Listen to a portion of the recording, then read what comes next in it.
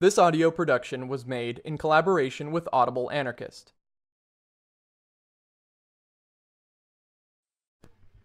Chapter 11 The Trade Union Yes, the Union is our only hope, you agree. It makes us strong. Indeed, there never was a truer word spoken. In union there is strength. It has taken labor a long time to realize this, and even today many proletarians don't understand it thoroughly. There was a time when the workers did not know anything about organization. Later, when they did begin to get together to improve their condition, laws were passed against it, and labor associations were forbidden. The masters always opposed the organization of their employees, and the governments helped to prevent and suppress unions. It is not so long ago that England and other countries had very se- severe laws against workers getting organized. The attempt to better their situation by joint effort was condemned as conspiracy and was prohibited. It took the wage earners a long time to fight out their right to, of association, and mind you, they had to fight for it. Which shows you that the bosses have never granted anything to the workers except when the latter fought for it and compelled them to yield. Even today, many employers oppose the organization of labor by their employees. They prevent it whenever they can. They get labor organizers arrested and driven out of the city, and the law is always on their side and helps them do it. Or they resort to the trick of forming fake labor bodies, yellow labor unions, which can be relied on to do the boss's bidding. It is easy to understand why the masters don't want you to be organized, why they are afraid of a real labor union. They know very well that a strong fighting union can compel higher wages and better conditions, which means less profit for the plutocrats. That is why they do everything in their power to stop labor from organizing. When they can't stop it, they try their best to weaken the union or to corrupt its leaders so that the union should not be dangerous to the boss's interests. The masters have found a very effective way to paralyze the strength of organized labor. They have persuaded the workers that they have the same interests as the employers. They have made them believe that capital and labor have identical interests, and that what is good for the employer is also good for his employees. They have given it the very fine sounding name of harmony between capital and labor. If your interests are the same of your boss, then why should you fight him? That is what they tell you. The capitalist press, the government, the school, and the church all preach the same thing that you live in peace and amity with your employer. It is good for the industrial magnates to have their workers believe they are partners in a, com- in a common business. They will then work hard and faithfully because it is to their own interests. The workers will not think of fighting their masters for better conditions, but they will be patient and wait until the employer can share his prosperity with them. They will also consider the interests and well being of their country and will not disturb industry and orderly life of the community by strikes and stoppage of work. If you listen to your exploiters and their mouthpieces, you will be good and consider only the interests of your masters, of city, and of country. But no one cares about your interests and those of your family, the interests of your union, and of your fellow workers of the laboring class. Don't be selfish, they admonish you, while the boss is getting rich by your being good and unselfish.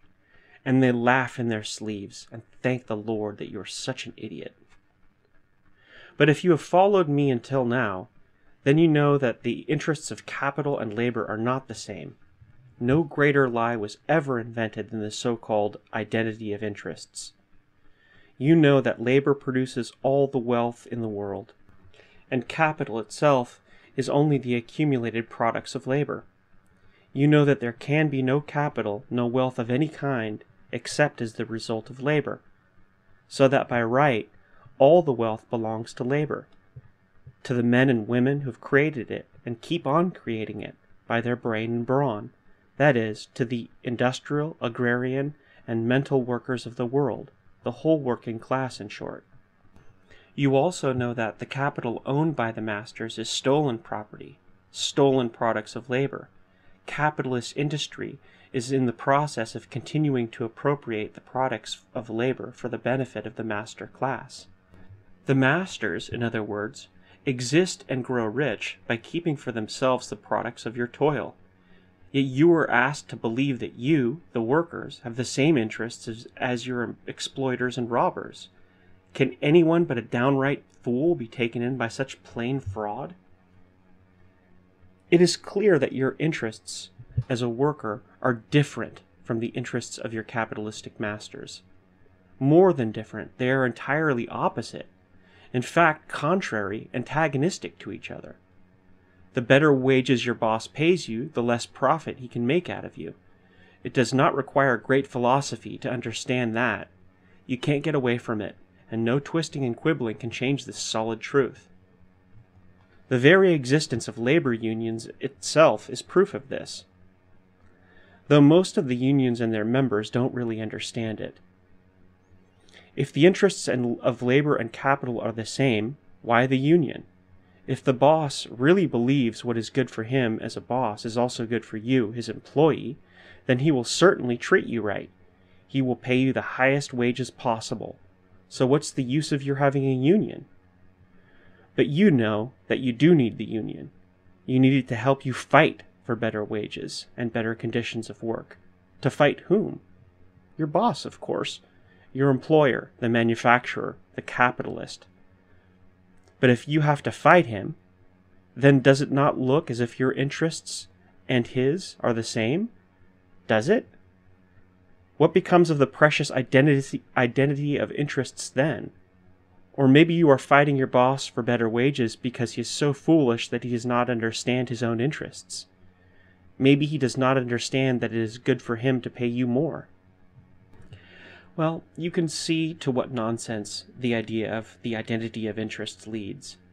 And still, the average labor union is built on this identity of interests. There are some exceptions, of course, such as the Industrial Workers of the World, the IWW, the revolutionary syndicalist unions, and other class conscious labor organizations. They know better. But the ordinary unions, such as those belonging to the American Federation of Labor in the United States, or the conservative unions of England, France, Germany, and other countries, all proclaim the identity of interests between labor and capital. Yet, as we have just seen, their very existence, their strikes and struggles, all prove that the identity is a fake and a lie. How does it happen, then, that unions pretend to believe in the identity of interests, while their very existence and activity deny it. It is because the average worker does not stop to think for himself. He relies upon his union leaders and newspapers to do it for him, and they see to it that he should not do any straight thinking. For if the workers should begin to think for themselves, they would soon see through the whole capitalist scheme of graft, deceit, and robbery, which is called government and capitalism, and they would not stand for it.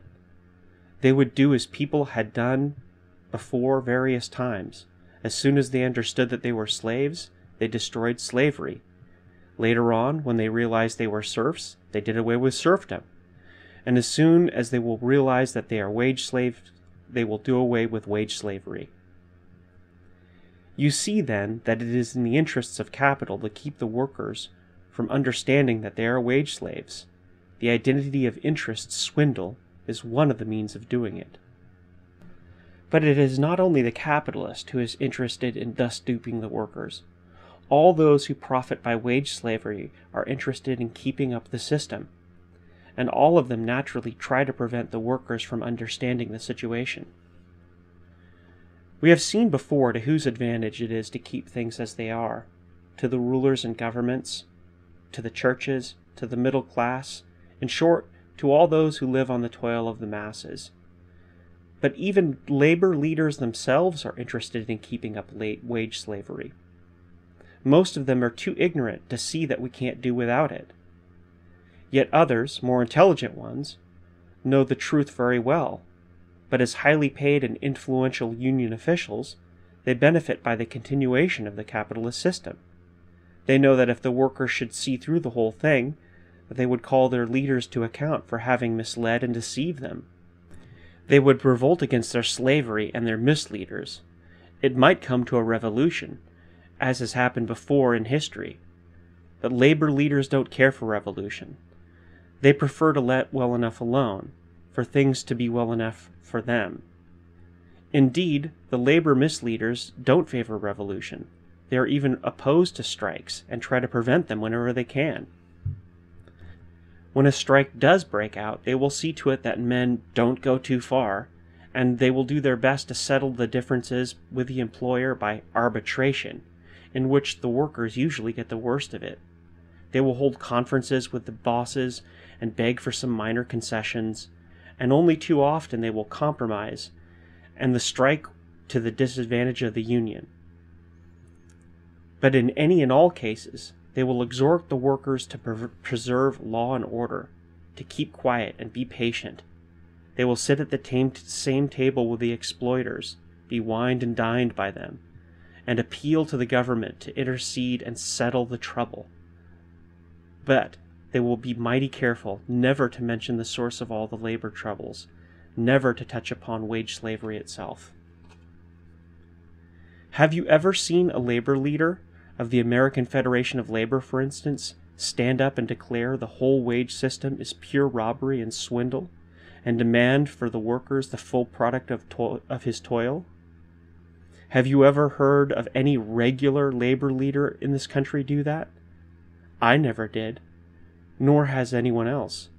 On the contrary, when some decent man dares to do so, it is the labor leaders who are the first to declare him a disturber, an enemy of the workers, as a socialist or an anarchist. They are the first to cry, Crucify him! and the unthinking workers, unfortunately, echo them.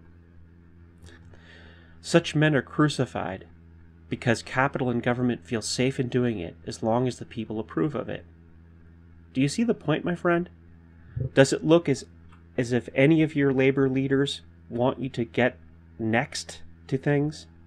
To understand that you are a wage slave? Do they not really serve the interests of the masters? The union leaders and politicians, the more intelligent ones, know full well what great power labor could wield as the sole producer of wealth of the world.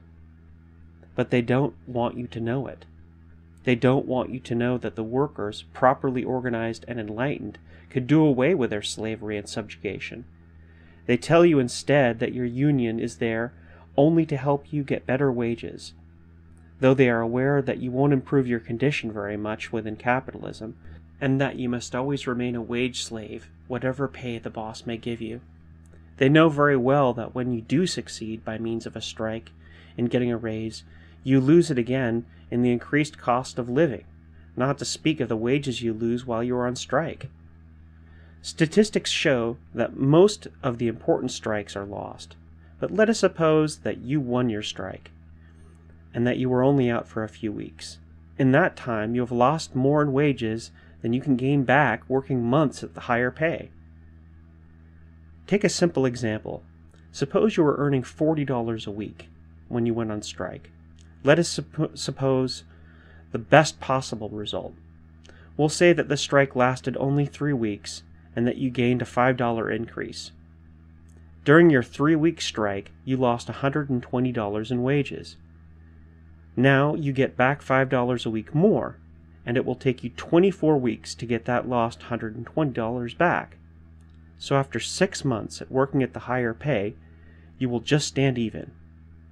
But how about the increased cost of living in the meantime? Because you are not only a producer, you are also a consumer. And when you go buy things, you find that they are more expensive than before.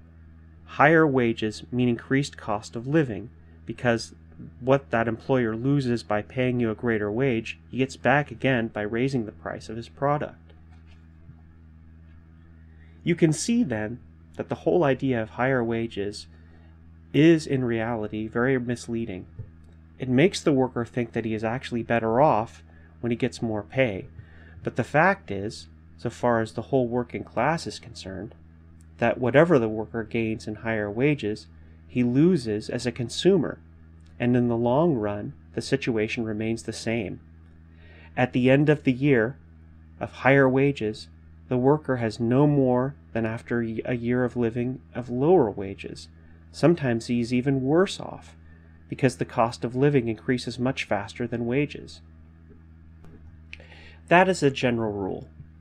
Of course, there are particular factors that affect wages as well as the cost of living, such as scarcity of materials or labor, but we need not go into these special situations, into cases of industrial or financial crisis, or times of unusual prosperity.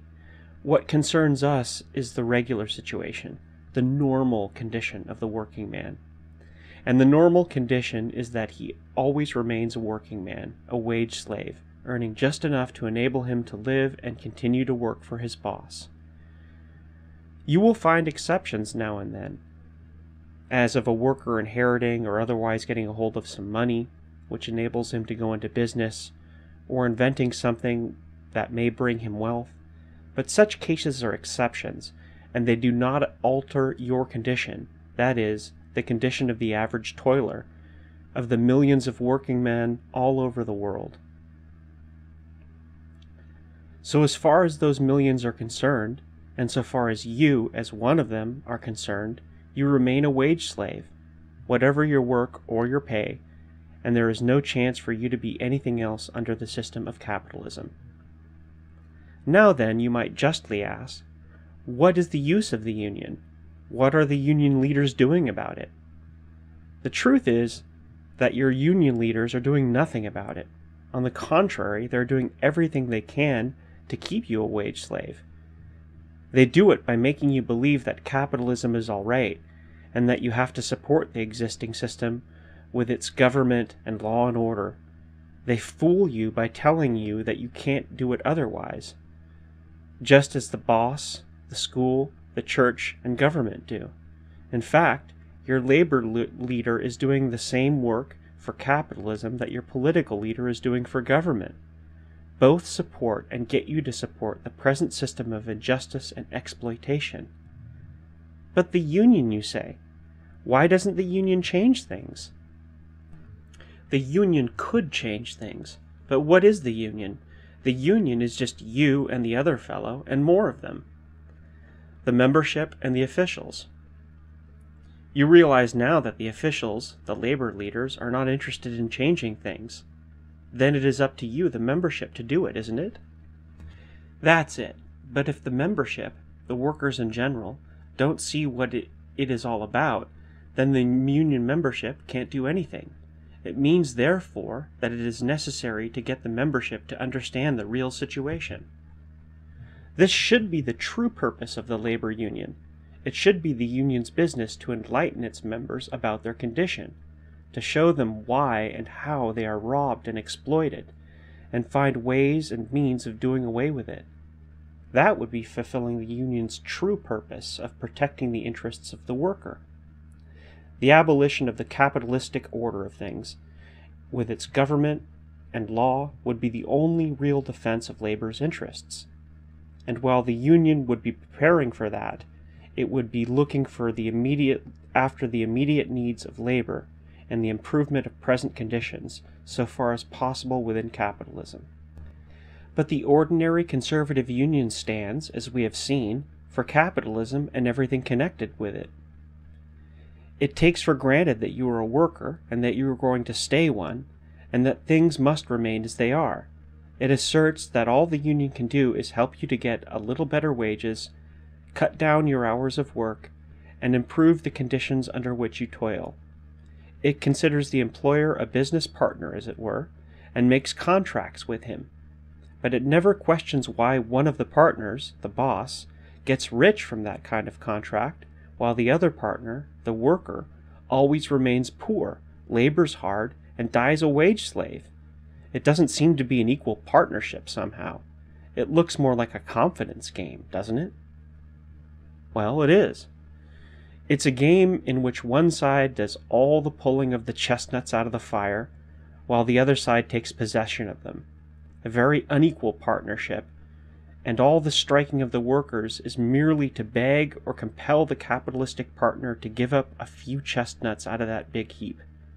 A skin game for all that, even when the worker succeeds in getting a few extra nuts. Yet they speak to you of your dignity, of the dignity of labor. Can you think of any greater insult? You slave for the masters all your life. You serve them and keep them in comfort and luxury. You let them lord it over you, and in their hearts they laugh and despise you for your stupidity, and they talk to you about your dignity? From pulpit and platform, in school and lecture room, every labor leader and politician, every exploiter and grafter extols the dignity of labor, while himself, all the time, sitting comfortably on your back. Don't you see how they are playing you for a sucker? What is the union doing about it? What are the labor le- leaders doing for the fat salary they make you pay them? They are busy organizing you. They are busy telling you what a fine fellow you are, how big and strong your union is, and how much your officials are doing for you. But what are they doing? Their time is taken up with petty matters of procedure, with factional fights, with questions of jurisdiction, with election of officers, conferences and conventions. You pay for it all, of course, and that is why your officials are always in favor of a big union treasury. But what do you have to get from it? You keep on working in the factory or the mill and paying your dues, and your labor leader cares blessed little how hard you toil or how you live, and how you have to make a big racket at your union meeting to compel attention to your needs and your complaints. When the question of a strike is taken up, you will notice, as I have mentioned before, that leaders generally oppose it. For they, also like the boss and the ruler, want peace and quiet instead of the discomforts involved in a fight. Whenever they can, union leaders will dissuade you from striking and sometimes even directly prevent or forbid it. They outlaw your organization if you go on strike without their consent. But if the pressure is too strong for them to resist, they will graciously authorize the strike. Just imagine you work hard, and from your scanty earnings, you support the union officials who should serve you, yet you have to get their permission to improve your condition. It's because you have made them the bosses of your organization, just as you have made the government the master instead of your servant, or as you permit the policeman whom you pay with your taxes, to order you about instead of you giving the, him orders. Did you ever ask yourself how it happens that when you are out on strike, and at other times as well, the law and the whole machinery of government is always on the side of the boss? Why the strikers number in the thousands, while the boss is only one, and they and he are supposed to be citizens of equal rights, yet, strange to say, it's the boss who always has the government at his service. He can get the courts to issue an injunction against your interfering with his business. He can have the police club you off the picket line. He can have you arrested and jailed. Did you ever hear of a mayor, chief of police, or governor order out the police of, or militia to protect your interests in a strike? Queer, isn't it? Again, the boss can get plenty of scabs and blacklegs under police protection to help break your strike because you have been working so many hours that there are always an army of unemployed on hand ready to take your place. Generally, you lose your strike because your labor leaders do not permit you to organize in the right way. I have seen, for instance, bricklayers in, on a New York skyscraper lay down their tools while carpenters and ironworkers on the same job remained at work. The strike did not concern them, the union said, because they belonged to another trade. Or they could not join the workers because that would be breaking the contract that their organizations had made with the boss. So they kept at work on the building where their brother union men had struck. That is, they were actually scabbing and helping to break the strike of the bricklayers, because, forsooth, they belonged to another craft, to a different trade, as if the struggle of labor against capital were a matter of craft and not the common cause of the whole working class. Another example the coal miners of Pennsylvania are on strike, and the coal miners of Virginia are taxed to help the strikers with money. The Virginia miners remain at work because they are bound by contract. They keep on mining coal so that the coal magnates can, dis- can supply the market and lose nothing by the strike of the Pennsylvania miners. Sometimes they even gain by making the strike an excuse for raising the price of coal. Can you wonder that the Pennsylvania miners lose the strike since their fellow miners scab on them? But if the workers understood their true interests, they would be organized not by craft or by trade, but by industries, so that, so that the whole industry, and if necessary, the whole working class, could strike as one man. Would any strike be lost? We shall return to this subject. Just now, I want to point out to you that your union, as presently organized, and your union officials are not built effectively for fighting capitalism, not built for even successfully conducting strikes. They cannot materially improve your condition. They serve only to keep the workers divided into different and opposing organizations. They train them to believe that capitalism is all right. They paralyze their initiative and ability to think and act in a class conscious manner. That is why the labor leaders and the conservative unions are the strongest bulwark of existing institutions. They are the backbone of capitalism and of government, the best support of law and order, and the reason why you remain in wage slavery. But we ourselves choose our union officials, you object. If the present ones are no good, we can elect others. Of course, you can elect new leaders, but does it make any difference whether this or that man is your leader? whether it is Gompers or Green, Jouhaux in France, or Thomas in England, as long as your union sticks to the same foolish ideas and false methods, believes in capitalism, and supports the harmony of interests, divides the workers and reduces their strength by craft organization, makes contracts with the boss which binds the membership and keeps them scabbing on their fellows, and in many ways upholds the regime of your bondage? Then the union is no good, you demand.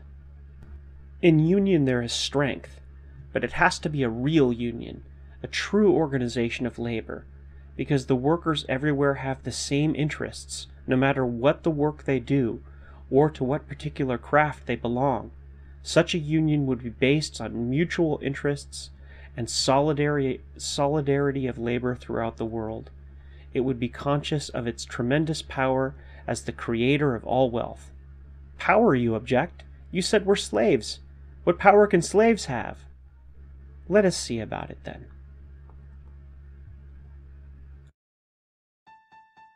This has been a production of Audible Anarchist. You can find more Audible Anarchist on YouTube.